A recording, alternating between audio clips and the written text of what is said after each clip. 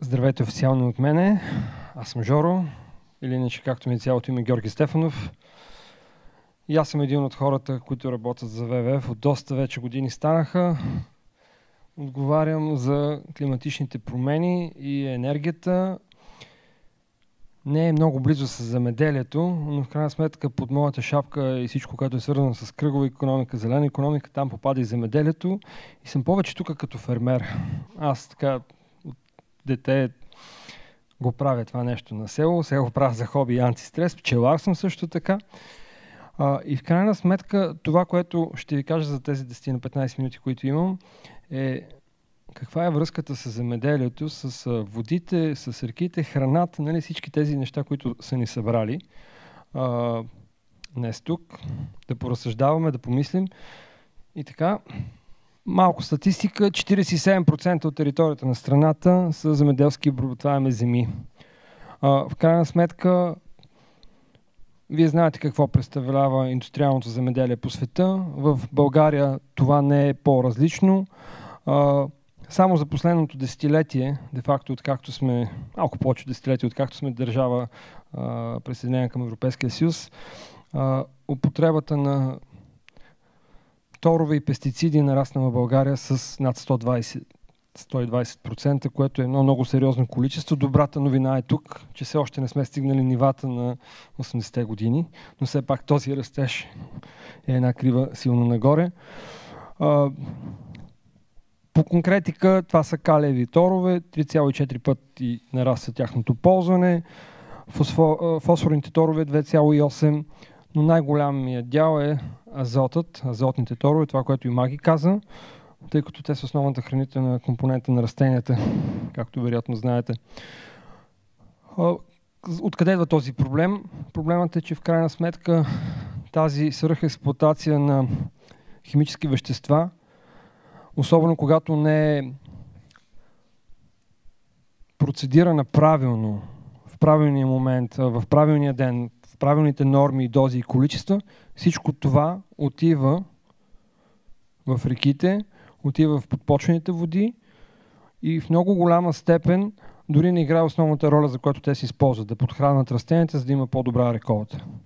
И всъщност е, това е един проблем, който има връзка с биоразнообразието, с климата. Колкото повече пестициди консумираме, толкова повече миси се отделят. И не на последно място върху човешкото здраве. Така, проблемите за хората, мисля, че всички ги знаете. Алергии, мутагенни действия, репродуктивни проблеми и още, и още, и още няма да ги изброявам. Нали, ако се заговорите с лекари, лекари каква е точната връзка, разговорът става доста страшен и доста притеснителен. Проблемите за водите е малко по-сложния аспект на земеделските дейности и по-непознатия проблем. А, има по класификация няколко различни типа връзки на земеделието с замърсяването на водите и това е всъщност основният акцент на, на моята презентация.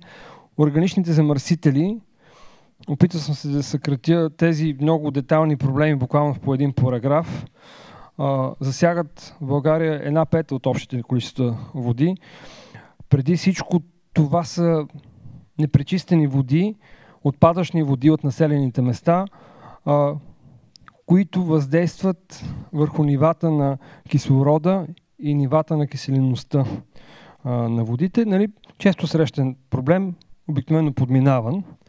Бих казал, че един от най-незначителните проблеми, свързани с замърсяването, но все пак голям проблем биогенното замърсяване, това са с основни вещества като азот, фосфор. 43% от водите в България имат негативно, са негативно повлияни от този тип замърсяване. Това са официални данни от Министерството на околната среда и от Изпълнителна агенция по околна среда. Бих казал, дори са занижени, но това е с което разполагаме. Основен происход на тези вещества са отново животновътство и промишленост. А, дори самата а, неправилно съхранение на тези химически торове също е източник на проблема.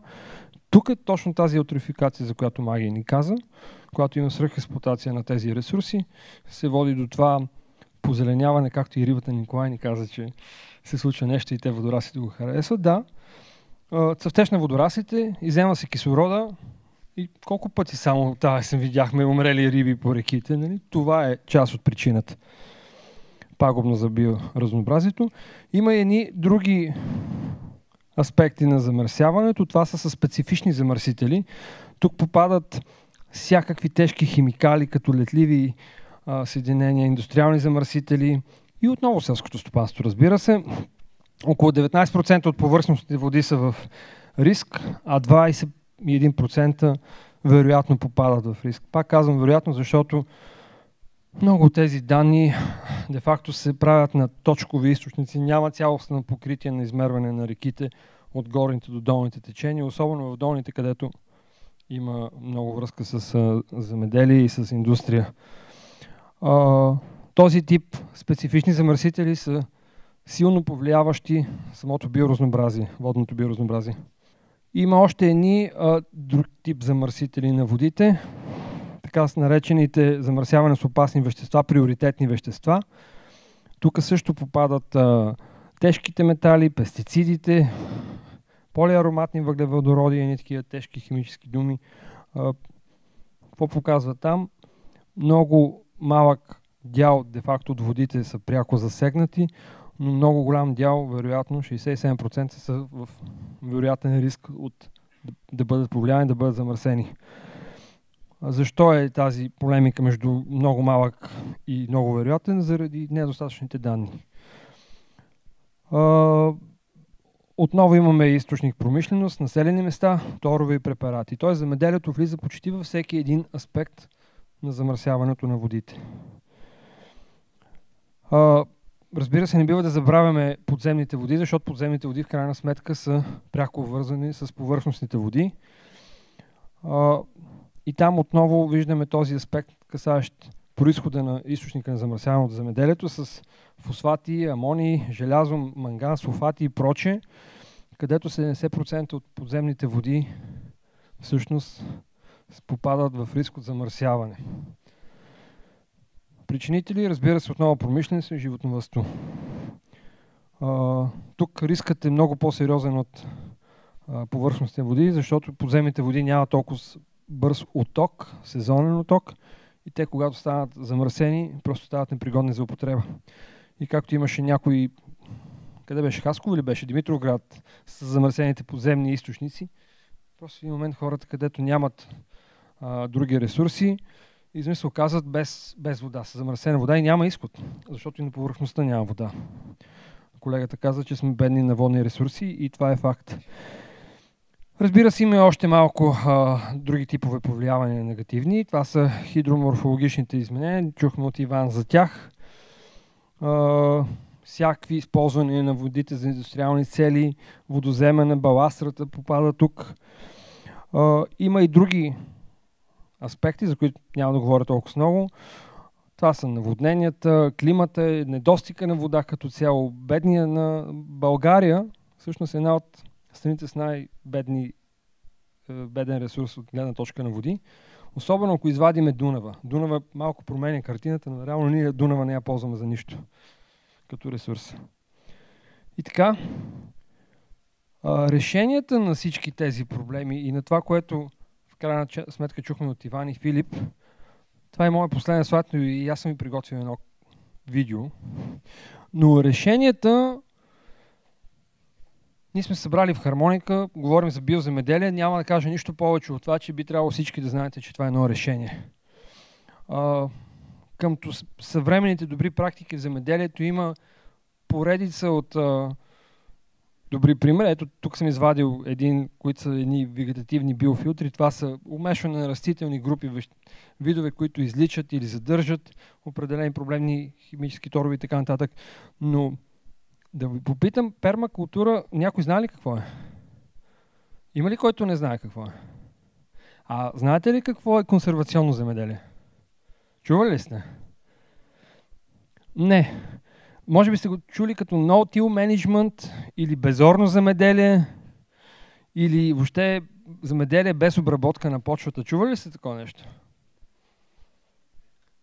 Я, я да си дигнат ръцете тези, които знаят кое какво е тилич или безорно замеделие. Добре, трима. Горе-долу е така ситуацията и по света. 3% знаят защо годе става на въпрос. Но сега ще свържа темата с климата. Това лято излезе поредния доклад на Междуправителствения панел по изменение на климата, така наречения Land Report, който даде една много обосновна, една много така глобална, глобален проблем на проблемата с земеделието. До сега се считаше, че около 17 до 20% от емисиите са с происход от сектор земеделие. Енергетиката беше, въглищата беше големия проблем. Тези 17 до 20% преди всичко вързват производството на пестициди, самото торене, самите емисии от азотни и фосфатни вещества. Те също, като станат летливи вещества, стават парникови газове. Но никой не устойностяваше емисиите, които произхождат от урането на почвата. Както в България 47% от територията са обработваеми земи, на практика в по-голямата част от света, който е благоприятен за земеделие, се оре. Орането е нещо, което в, естествения, е, в естествената екосистема го няма. Просто, нали, като излежда дивата природа, няма разорана почва. Това е мъртва почва. Това е умрял, убит живот. По всички показатели на флората и фауната, която е в почвеното биоразнообразие. Има два цикъла на въглерода в кръговрата на веществата. Малък и голям. И къмто приноса на задържането на въглерода, карбон синк е термина, почвите по същия начин, както океаните и горите, имат много голям дял за синтезирането, изличането на въглероден диоксид от атмосферата и задържането му в самата почвена структура, защото нали, в крайна сметка почвата е тази покривка на Земята, която е живия организъм. Скалите де-факто не са или ледниците. Там няма живот. Но в почвата има. И учените от IPCC, това са най-международните видни учени, институти и образователни структури, когато направиха анализ колко всъщност много емисии произхождат от урането на почвата, количеството се умножи почти по две. Стигна близо 50% от глобалните емисии идват от сектора земеделие от урането на почвата. И си казваме, какво правим сега? Въглищата, енергетиката, веитата, вецовете. Те са проблем, факт. И продължава да са проблем номер едно. Но номер две изведнъж става земеделието. Хубаво, ние без въглища не можем, имаме си слънце, ще си вземем там ядрения разпад, няма правим аец и така нататък. Обаче с земеделието какво правим? Може ли биологичното земеделие да ни осигури непрекъснато растя, растящите нужди на хранителен ресурс и то при условие, че насякъде има този проблем с замърсяване на почва и води? Това е въпрос, Любо, към тебе и Маки. Според вас, е ли възможно биологичното земеделие да ни осигури продоволствените нужди? Нали, сигурно сте си го задавали. Аз, защото и аз съм, не съм сертифициран фермер, ама съм един такъв любител с мотиката. И е година, година има, година няма, нали? Използвам мотофреза. Ама от, като пуснахме кравата, нали, купихме мотофрезата. Но признавам си, аз пробвах пермакултури да правя. При 10 на години се запознах с този проблем моите роднини там, майка ми, война ми, баба ми беше жива, казаха, Съкън, това не може да е така, не става. А, всъщност, no-tillage management или земеделието безорното е глобалният мащаб на пермакултурата. Пермакултурата е на градинката задния двор. Криво-ляво всеки ще се справи. Обаче това не може да нахрани непрекъснатите нарастващи нужди от земеделието. И сега, когато става въпрос, че емисиите всъщност са дава, двойни са по-големи от урането, и ако чуете какво се планира в Европейската зелена сделка, в мащаба на дискусите на ООН, в момента е срещата за климата в Мадрид, всъщност ние ако трябва да намерим решение за въглищата и сме го намерили в Слънцето и в другите форми на възобновяема енергия, то със земеделието не е така. За транспорт има решение, електромобили така. За земеделието не е така. И аз по стечение обстоятелството моята половинка работи в този сектор, държавен служител. И казвам, че е много голяма блъсканица на всички политици и вземащи решения, аджиба, какво е решението. И всъщност решението на осигуряването на продоволствените нужди на справяне с климата, на справяне с замърсяването, е вероятно този, това безорно земеделие. Аз харесвам безорно, макар че той почвите не се обработват с машини. И това сега звучи тотално революционно на фона нали, на българската литура. Там нали, воловете ходят, урат, аз хода с мотиката, после с мотофрезата. А, нали, и вие го правите така. И горе-долу всеки е фащал мотика и машина. И ако питате някой стар човек, може ли да изкараш нещо без да ореш, нали, ще карат в, в групата на, на леко лудите хора. Но се оказва всъщност, че в България има голям фермер, и тук на София до Елин Пелин, който обработва 20 000 декара по този начин.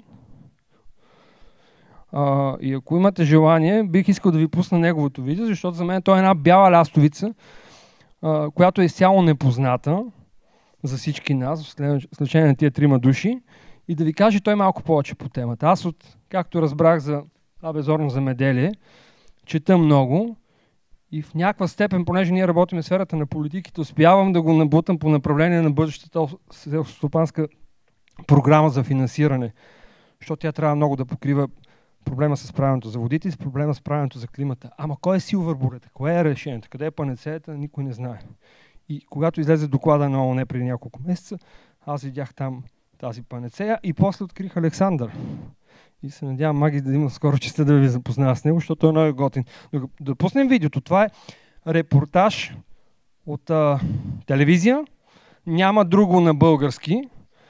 Той е 4 минути и после има още един слайд за край и това е от мен.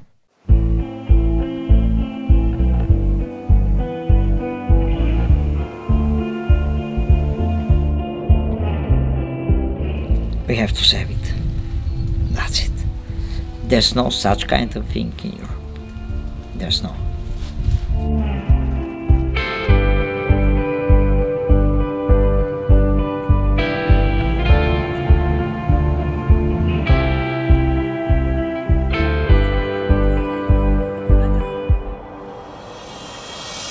Kresna Gorge to us is important because there runs the Struma River and it is famous not only with uh, its huge biodiversity but also with the fish populations in, in the gorge. It's uh, the place in Bulgaria with the biggest concentration of species in one space.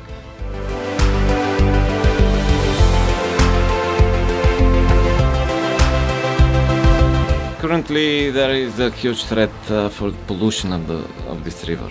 Both in Serbia and in Bulgaria, a lot of mining activities and a lot of other uh, industrial activities are uh, going on. One day those poisons will reach the Kresna Gorge and then they will reach Greece, uh, including the national park Kerkini in uh, Greece. And there are plans to construct a motorway, not just a road, but a big European motorway right straight through the gorge or at least to leave half of the traffic along the existing road. It's an action which will completely kill the life inside.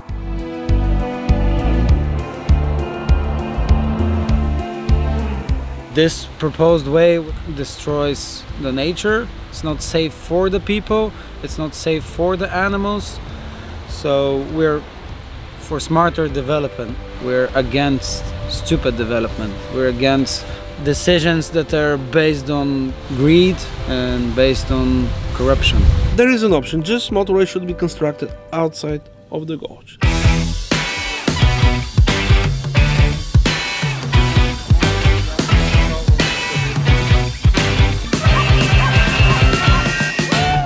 There are like 10,000 people coming every year to, to do those sports. So I think there's so much good potential and we just want to preserve this and also work for the people. Every day when you're here, you start loving the nature, you start seeing what's different and then you just want to protect it. It becomes valuable for you. Even though it's not yours, it's everybody's. You're here every day, you're enjoying it a lot of the tributaries of the Struma River are actually disrupted by hydropower, small hydropower plants, which are killing all the life in those tributaries. And when a river has no living tributaries, it is cursed and sentenced to death. We want to say to Bulgarian government and to the European Commission, find alternative outside of the gorge and do everything necessary to protect the gorge. Save not only the nature, not only people's lives, but also to save European democracy and European values.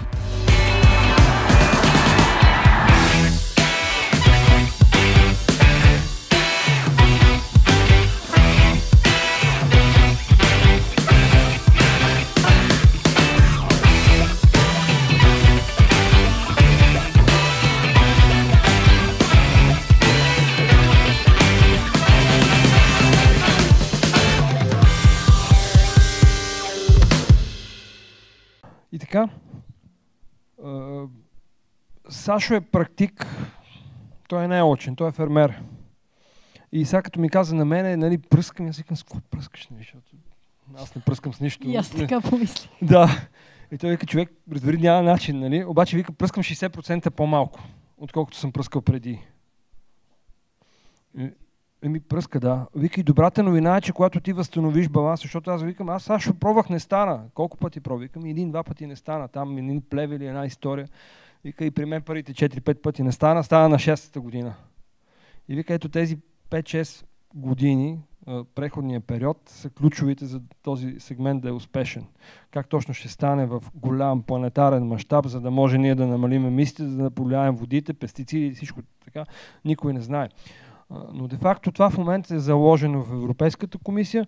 Това се обсъжда, във вторник беше екологичните мерки и програми в рамката на анализите на обща стопанска политика у нас. И това ще е една от мерките, почти сигурно, не мога да кажа, нали, никой не знае, която ще бъде финансирана. Тоест целта е да се накарат големите фермери и стопани да практикуват тази мярка, вече като получават субсидия. Добрата новина е, че 65% му се намаляват оперативните разходи. В крайна сметка субсидието може да оперира без... А, земеделието може да оперира без субсидии. А, предстои да разберем какво е това нещо, но аз приключвам и отново да правя апел. Това е нещо, което ще виждате следващите няколко седмици преди коледа. Подкрепа за дарение към ВВФ. Това е начинът, който организацията в момента се издържа. Поради много необходимости и нужди, включително и политическата конюнктура в нашата страна. Така че, когато срещнете тези мили животни и се сетите за коледа, не забравяйте и за нас. Благодаря ви.